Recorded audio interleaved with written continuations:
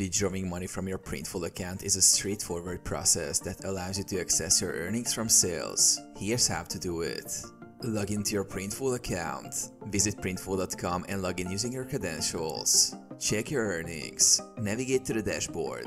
Click on orders to review your recent sales and ensure the payments have been processed. Go to billing. Click on the settings gear icon in the bottom left corner of the screen. Then select billing from the menu. Here, you can manage your payment settings and view your balance. Set up payment method.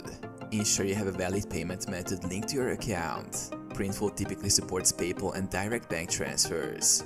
If you haven't set this up yet, add your preferred payment method in the billing section. Withdraw funds. Once your payment method is set, go back to billing section and look for the option to withdraw funds. Enter the amount you wish to withdraw and confirm the transaction.